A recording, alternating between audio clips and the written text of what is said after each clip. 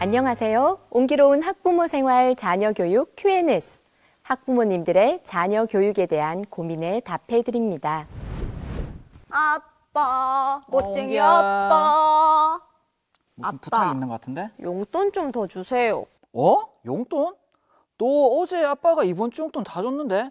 설마 하루 만에 다 쓴 거야? 그게 아니라 친구들이 뽀로로 필통 사길래 나도 샀더니 필통은 얼마 전에 새로 산 것 같은데? 너 이렇게 용돈을 펑펑 쓰면 어떡해? 어? 너 이번 주에 용돈 없어 알겠어?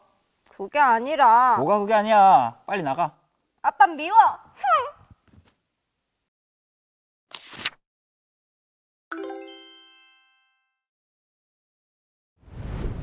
네, 이런 경험 아마 우리 부모님들 많으실 거예요.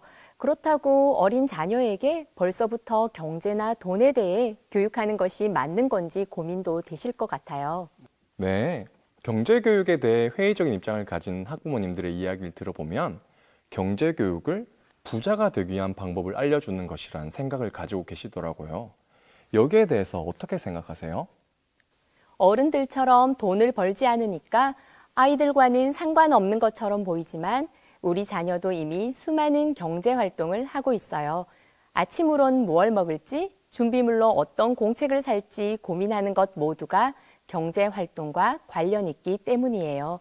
모든 사람이 물건이나 서비스를 원하는 만큼 갖기란 불가능하기에 더 나은 만족을 얻기 위해서는 경제 교육이 필요합니다. 즉, 경제 교육은 부자가 되기 위해 하는 것이 아니라 가장 합리적인 선택을 하는 방법을 배우는 교육입니다. 네.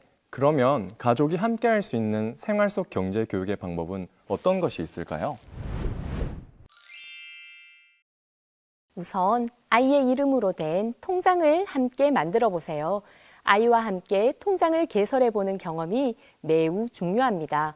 통장을 개설하기 위해 은행을 함께 방문하거나 인터넷 뱅킹 시스템을 알아보는 활동은 아이가 금융 활동에 관심을 가지게 되는 계기가 될 것입니다. 또 저축한 돈을 어떻게 사용할지 이야기 나누어 본다면 계획적인 경제 습관을 기르는데 도움이 될 것입니다. 그리고 아이 명의의 체크카드를 만들어 사용하게 하면 자녀의 소비 스타일을 분석해 볼 수도 있습니다. 용돈을 저축하고 계획적으로 쓰게 하는 것도 중요하지만 돈이 어떻게 생기는지를 알게 하는 것도 경제 교육을 위해 필요하지 않을까요? 네, 맞아요. 돈을 벌기 위해 어떤 일을 해야 하는지, 돈 벌기가 얼마나 어려운지에 대한 감이 없으면 경제 교육은 효과를 보기 힘듭니다. 그래서 직접 용돈을 벌어보는 경험을 갖게 해주는 것을 추천합니다.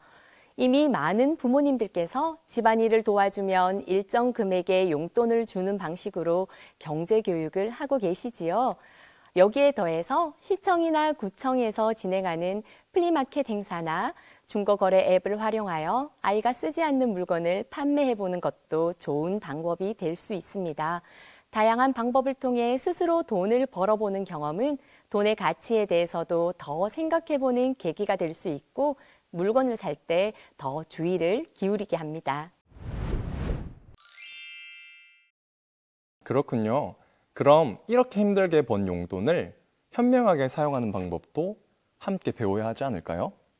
네, 계획적으로 그리고 가치 있게 돈을 쓰도록 가르쳐야 합니다. 물건을 구입할 때에는 필요한 것과 원하는 것을 구분하는 것이 중요한데요. 아이 스스로 필요한 것을 먼저 선택하도록 도와주는 것이 좋습니다. 그리고 원하는 것을 사고 싶을 때는 하룻밤 지나고 사기를 약속해 보면 좋을 거예요. 반드시 필요하지 않은 물건에 대한 소비 욕구는 시간이 갈수록 줄기 때문에 충동적으로 결정을 하는 것이 아니라 좀 더 신중하게 물건을 사는 데 도움이 될 것입니다. 또 아이와 함께 기부를 해보거나 사회적 기업이나 마을 기업에서 판매하는 물건을 구입하는 등 함께 잘 사는 사회를 위한 경제 활동에도 관심을 갖게 해주세요. 어려운 사람들의 취업을 돕고 지역 자원을 활용하여 지역 경제를 발전시키기 위해 노력하는 사회적 기업이나 마을 기업, 협동조합 등의 물건을 이용하면서 아이에게 부자가 되는 법이 아니라 행복하게 사는 법에 대해 이야기해 줄 수 있다면 그것이 진정한 경제 교육이 아닐까 생각합니다. 마지막으로 경제 교육에 대해 좀 더 상세한 정보가 필요하신 부모님들께서는 기획재정부에서 운영하는 경제 배움 이 사이트를 이용해 보시면 좋을 것 같습니다. 경제 교육의 목적은 부자가 되는 것이 아니라 보다 나은 선택을 할 수 있도록 돕는 것에 있다는 것을 기억해 주시고 우리 아이들이 다 함께 행복하게 사는 방법을 배울 수 있도록 학부모님께서도 도와주시길 바랍니다. 감사합니다.